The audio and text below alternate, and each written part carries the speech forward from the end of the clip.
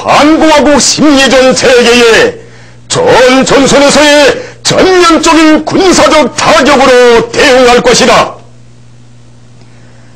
조선인민군 총참모부 중대 포고